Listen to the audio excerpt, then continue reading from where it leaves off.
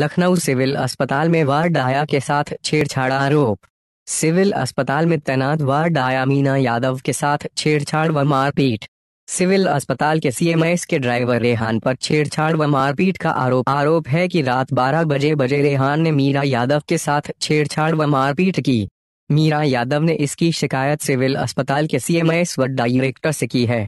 इसके साथ ही मीरा यादव ने डायल एक सौ बारह पर सूचना देने के साथ ही हजरतगंज थाने में एफआईआर लिखवाने की बात कही है। मीना यादव का आरोप है कि गंदे इशारे करने के बाद की छेड़छाड़ व मारपीट। हजरतगंज थाना क्षेत्र स्थित सिविल अस्पताल की घटना। मैडम क्या नाम है आपका? मीरा यादव। क्या आपके साथ घटना हुई सिविल अस्पताल में? बताइए ना पूरी बात बोलिए ना।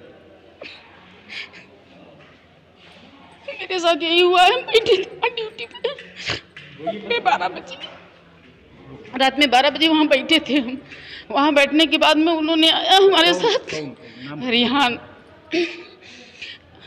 क्या किया आपके साथ उन्होंने उन्होंने हमको इशारे कर रहे थे इशारे करने के बाद में उन्होंने कहा कि हम हम कहें जाओ तुम वहाँ ड्यूटी अपनी वहाँ ड्यूटी करो यहाँ ड्यूटी ना करो यहाँ से जाओ हमारे पास से हमारे से बहसबाजी ना करो ज़्यादा उन्होंने कहा कि नहीं जाएँगे। क्या करोगी?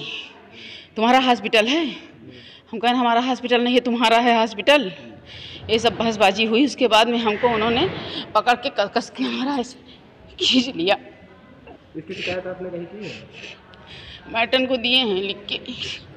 अप्लीकेशन पुलिस में करेंगे? क्यों नहीं करेंगे? यहाँ पे रेहान क्या करते हैं? क्या करते और यहाँ यहाँ सीमस के ड्राइवर हैं।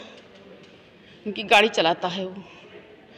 और एक बार नहीं कई बार वो हमसे बात चुके लेकिन हमने मतलब उनको वो कई बार किए हैं लेकिन हमको मतलब वो कर दिए थे। किस तरीके की कार्रवाई चाहती हैं? हम चाहते हैं कि वो दोबारा किसी के साथ ऐसा ना हो। आज हमारे साथ हुआ है हमारे साथ एक कर्मचारी हैं लेडीज़ ड्यूटी करती हैं नाइट भी डे भी करती हैं किसी के साथ ऐसा ना हो सके